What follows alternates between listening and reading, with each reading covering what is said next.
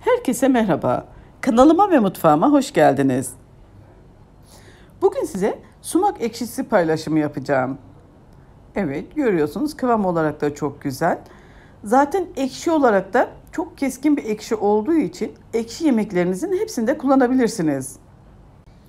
Özellikle dolmalarda, sarmalarda, ekşili çorbada, et kabağında, hele bamyada nefis oluyor.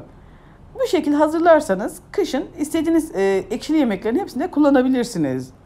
Şu anda da biliyorsunuz e, koronadan sebep biraz popüler oldu. Ama bizim buralarda her zaman yaptığımız ve kullandığımız bir ekşi türü diyeyim. Bu şekilde bunu e, sumağı toz olarak da yapabilirsiniz. Yani toz olarak da kullanabilirsiniz. Ama onu onun etkisi daha az olur. Ee, sıvı olarak hazırlarsanız yemekleri de daha rahat ve saklanması daha uzun süre oluyor.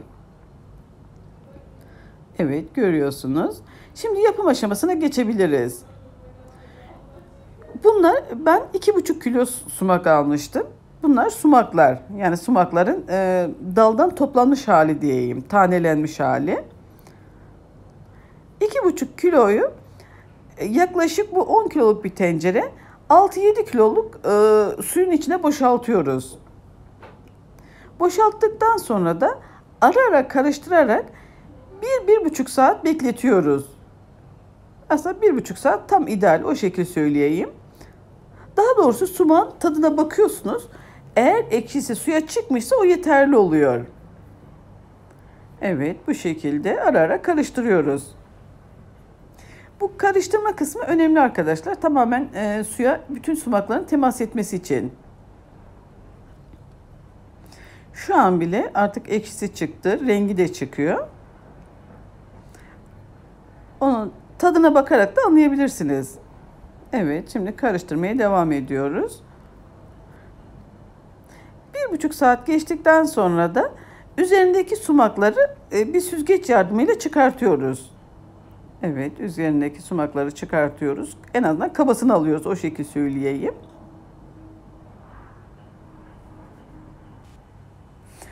Tanelerin kabasını aldıktan sonra da şimdi tekrar süzüyoruz. Yani içinde hiç partikül kalmayacak. Evet tenceremize süzüyoruz. Esas yapmak istediğimiz tencereye suma normalde tamamen güneşte de çıkarabilirsiniz. Yani bu aşamadan sonra güneşe koyup karıştırarak da yapabilirsiniz.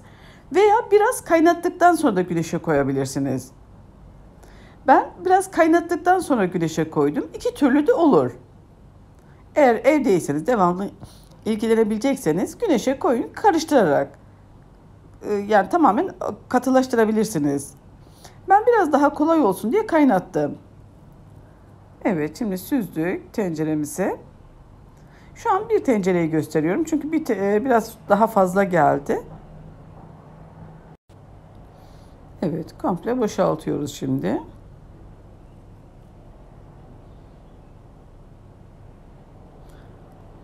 Evet.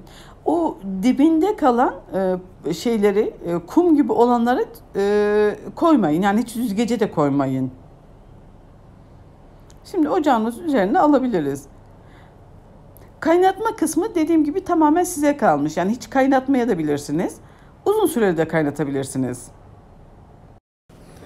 Bu da tenceremize süzdürdüğümüz sumak.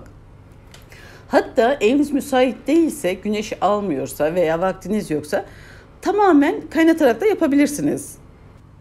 Ekşimiz kaynamaya başladı. Üzerinde kef oluşuyor. O kefleri de bir süzek yardımıyla alabilirsiniz. Evet, süzek yardımıyla kaynadıkça devam edecek. Aynı e, ya et suyu yapar gibi. Bütün kefini ne kadar alırsanız o kadar güzel olur. Yarım saat bu şekilde kaynıyor. Ekşimiz kaynamaya devam ederken biz de tepsilerimizi hazırlıyoruz. Güneşe koyacağımız ekşi yani tepsilerinde mutlaka e, cam veya porselen olması gerekiyor. Metal olmaması lazım. E, metali alüminyum tepsileri deler zaten. Bakır da kimyasal etkileşimden sebep zehirleyebilir. Borcam veya dediğim gibi bir porselen olabilir. Evet ekşilerimizi bırakıyoruz şimdi cam tepsilerimizin içine.